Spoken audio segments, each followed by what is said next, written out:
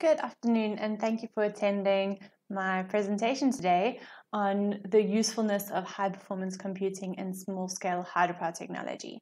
So, my name is Chantel Niebuhr, and I'm from the University of Pretoria.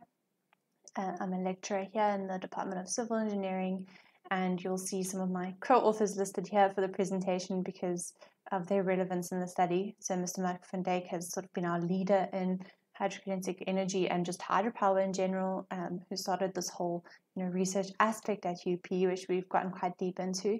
And then also Christian de Wet, who's from Aerotherm and has really, really been a big help on the CFD side of, of the study, which is also relevant to today's lecture or today's lecture, today's presentation. So uh, I'm just going to give you a short introduction on the study, or some background to the study, and then I'm going to focus more on just the CFD um, and specifically through our validation cases, which became a really big part of our study and actually a big focus on just you know finding the best route on modeling these wakes um, and and just hydrokinetic turbines in general. Um, then I'm going to just give you a, a, quick look into our current work and why we are doing this, you know, uh, the study in CFD, and then just some conclusions and comments on the computing overview.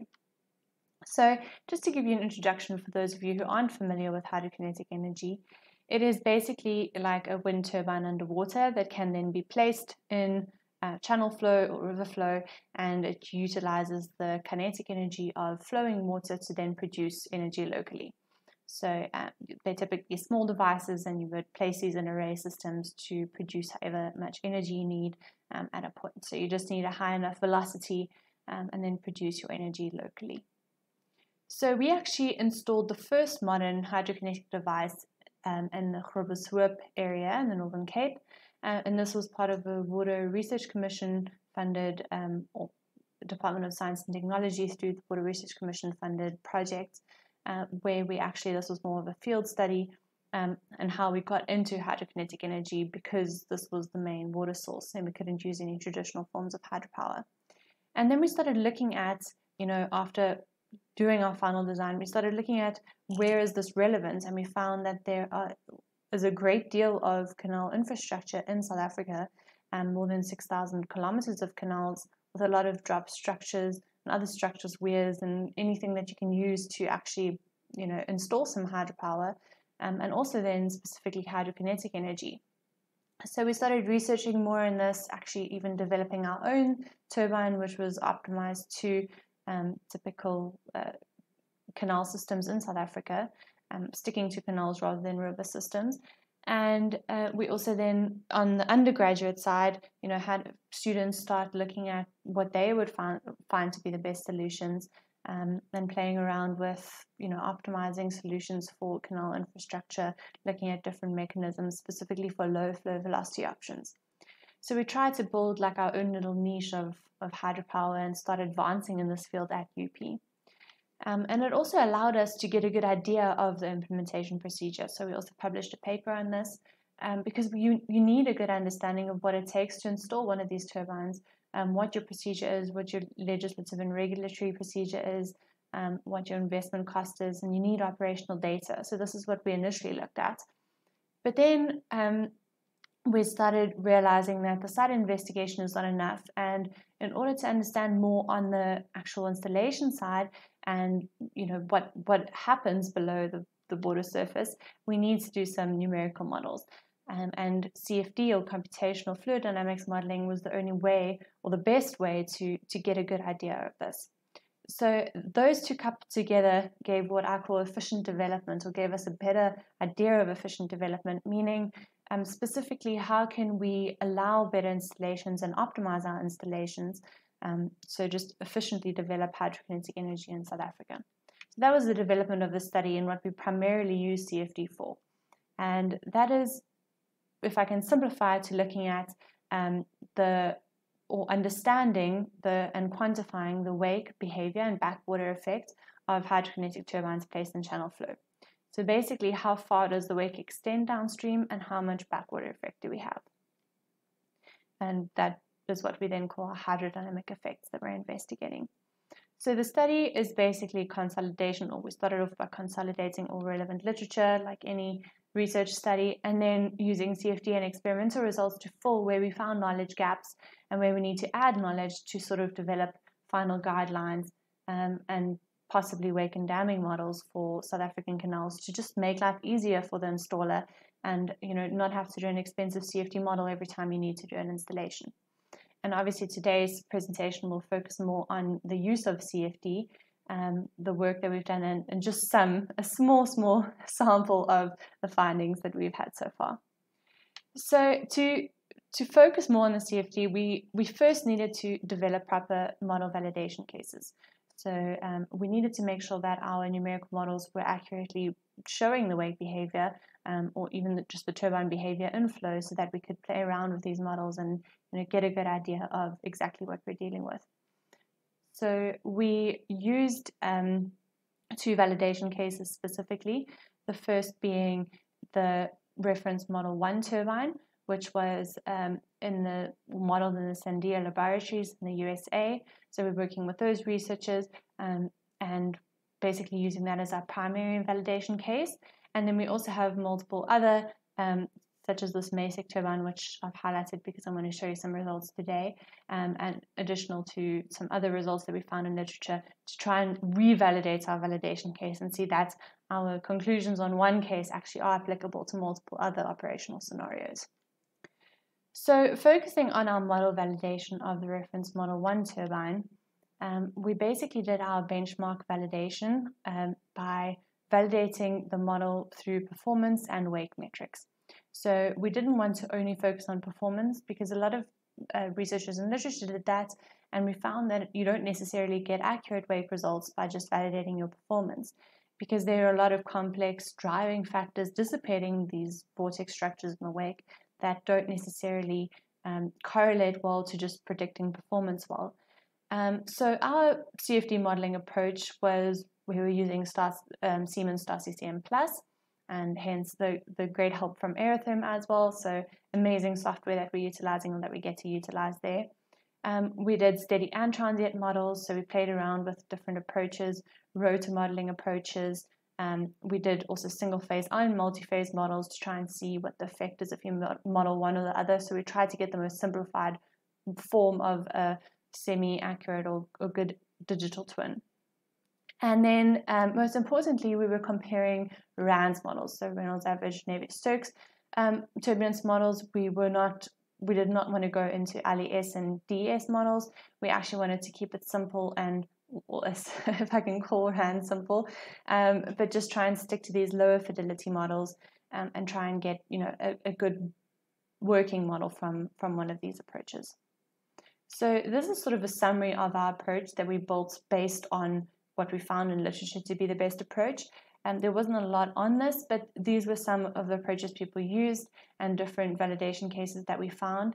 And we consolidated this and then tested different aspects, mixed these together. So you use some different approaches with rotor modeling um, techniques, um, different turbulence models, and obviously different time solutions. And then found what works best for us. So there were some, like initially we started with a full rotor geometry and RANS models um, which then you know didn't work. We then moved on to virtual disk models and tried a higher fidelity Reynolds stress models. Um, also finding that steady state didn't work, moved on to transient, etc. So our model validation was done in two ways. We first did our torque and thrust validation, so um, just comparing uh, the experimental torque and thrust values to and power coefficients to our CFD models, and both or pretty much all the approaches actually work quite well um, within the torque and thrust, so the performance metrics. But what was more important on our side is actually modeling downstream wake correctly. So this graph that you see on the bottom is one you'll see a lot throughout the presentation. And what we did here primarily is to plot the velocity deficit, so basically the wake recovery rate, um, as you look downstream, so x over d was just the diameters downstream on the x-axis, and then we compared different um, approaches and different you know turbulence models to try and see what works best. And um, first like i said we started off with a full rotor geometry. So we actually used um, the full rotor geometry modeling a rotating mesh around the blades and um, and coupled this with a few turbulence models. So it was quite a large mesh. So our through our grid independent study, we found that around about a 15 million cell mesh with a smaller cell, 3.5 millimeters, worked best here. Um, and it, although it showed very, very good results for performance, so here you can just see the tip speed ratio um, variation and torque variation, how well the experimental results actually correlated with CFD. Um, but on the wake side, we had a few struggles where, um, especially on the full rotor geometry, you just had very strong vortex structures um, from the full rotor geometry that then sort of didn't dissipate well enough in the wake because of the over um, dissipation of turbulence in the um, within the RANS models. So that was a bit of a problem. And because of that, we found that some, or a solution, a possible solution to this was using the blade element momentum um, method uh, theory on a virtual disk. So instead of actually mo- modeling the blades, we just use virtual disk um, and then use the lift and drag coefficients. So we actually used uh, numerically generated lift and drag coefficients, which worked better than some um, experimental results that we found. And and so those were actually on Xfoil. And we actually ended up using this coupled with Reynolds stress model, um, which gave us round about a, a, mesh of 13 million cells, so slightly smaller. Um, so we had quicker solving times.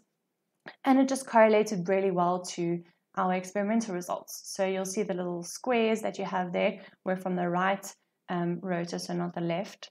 The right rotor did have some issues with the experimental setup, which you always have to consider with your validation because uh, there was some asymmetry in the approach flow. So there were some issues there, so we depended more on the left rotor. And this correlated really well to our transient um, BEM CFD method. And I mean, this was a long procedure that I'm not explaining now, but we sort of found that because you have these strong um, vortices or over strong vortices from the full rotor geometry, the BEM sort of counteracts that, which works well with the um, sort of under dissipation of the the vortices in the in the wake. So the limitations of both somehow together worked well, which was sort of a lucky in between. Um, and you can see an example of this where on the bottom picture over there you have the full rotor geometry mesh and the strong vortices that just aren't breaking up fast enough. And in the top you can see the BEM uh, method, which which did work better. So uh, that was a really interesting find, and it was, uh, uh, I mean, we, we did a lot of studies on that. And we also looked at multi phase. So we did, we actually modeled instead of using a symmetry plane, we modeled the air water interface, found good correlation to experimental results there as well. Um, we had some issues specifically on the inlet because we had a polymesh, um, which needed to be used because of that complex rotating wake. Um, but then you know you want a structured mesh for a VOF um, or a, a, free surface, which caused some issues with waves forming, and we had a lot of issues with convergence here. Um, but eventually, we did find you know we got a good solution for this, and actually compared it to our symmetry plane, but still found that the best simplest approach, you know, symmetry plane worked well, and there was no need to go into a much larger mesh using a VOF approach. So uh, this was just some of the studies that we did, and we got to sort of a best case uh, of modeling these hydrokinetic turbines. And then obviously we can't just say our recipe works for all, so we had to do some further validation. And what we did here is we tried to model it like we would if we didn't have a validation case. So model it using our recipe and and see if we get good correlation. And we actually did, which was really, really great for us. Um, without playing around with the model too much and trying to adapt it to experimental results, we got really good correlation. Uh, although you can see between 1D and 3D, so one diameter and three diameter downstream, we had a few discrepancies. But then as you do, we compared it to experimental and knowing how difficult it is to get those probe measurements behind the hub, um, we found that in, I mean, in a numerical case, you get to look at exactly that cell, what value you have there, and just changing that slightly to the left or the right, which would automatically happen experimentally, gave us a big variation. So um, we're not blaming our model for that. but yes, if you even just look at the average cylinder velocity, so just taking um, the diameter, the area of the turbine downstream, and averaging the velocity, we compared that to experimental values and still got good correlation. specifically for higher turbulence intensities. So it's always complicated to try and get the RANS models to perform well at higher turbulence intensities. So we didn't use ambient um, turbulence intensity terms here. We used uh, inflow turbulence intensity specified and actually got very good correlation, which was good news for us. Um, so not a mac or not a big differential there, and and good for our study. So what we're using this work for is basically to try and identify what we call wake metrics. So testing different variables um, and sort of uh, trying to get an idea of what governs the wake formation. So, for instance, we're testing tip speed ratios, um, seeing what effect that has on the wake. Um, for instance, in the near wake and the far wake. Also, inlet velocities, so seeing if we have faster recoveries for what aspects, and just understanding what operational conditions, for instance, if you have different inlet turbulences, what governs wake formation and what changes wake formation. So, in conclusion, um, there were some CFD challenges, obviously, specifically in this work. It is very complex, and um, we had some far wake model challenges, so with stability in the far wake and accuracy in the far wake. So um, it, it is a challenge to get that right, specifically with the Reynolds stress models. Uh, but it was it was really great to to actually get there, um, and also boundary wake interaction. So to to make sure that you're modeling that correctly and getting a good correlation to experimental results um, and also modeling that free surface as accurately as possible. So through the symmetry plane testing that you are actually, you know, replicating um, what would happen in real life and not just specifying something um, and assuming it's correct. And obviously, what has to be mentioned is the large computational requirements. So, and the reason that, that I'm presenting here today is obviously because we needed the CHPC for this, um, and it wouldn't be possible without the the computational require or the computational resources that we have available to us through them. So, um, one of the important issues worth mentioning is the scaling issues. So, we found specifically with sliding mesh, um, it didn't scale very well, and it's important to always check this and test this to make sure we're not wasting resources, um, specifically on these complex CFD um, flows. You know, you can get scaling issues, and it's important to consider them um, and obviously the complexity of the turbulent wake. So understanding the behavior and driving factors and making sure that you consider that um, and not just sort of um, you know do, run the model, do it, and think that your results are, are correct. So I like showing this picture. I'm sure a lot of you have seen this, but um, it's very relevant. I always feel it's very relevant to our study because although a wake seems like a simple um, mechanism, it's still, you know, we're breaking it up and trying to understand the driving factors in a different way, um, which does save us a lot of time rather than going into depth into um, the turbulence and, and, and, you know, untapping exactly what the driving factors are. Um, so it's giving us a good, quick solution to, you know, specifying to in, or installers or um, any developers in future how to or what to predict um, from these turbines. So um, we're obviously continuing research in this field. Uh, we're doing a lot on the installation side, which obviously I haven't mentioned today. So new area, trying to find new areas of application um, and trying to get long-term operational data um, because you need that to, for feasibility studies and to actually make sure that this can operate long-term. Um, and obviously also on the legislative and regulatory side, they need operational data and they need sort of success stories um, to try and make this an easier um, process to install. And then on the numerical models, which was part of today's all of today's presentation, um, it's important to you know use it correctly and to understand the shortcomings when you're using a numerical model and to ensure that you're actually doing um, proper validation. Um, so I think that's a very important point, and we found that to be something that's really really missed in a lot of publications um, where inaccurate solutions are found because there wasn't proper validation. Um, so just ensure that it is applied and, and valid.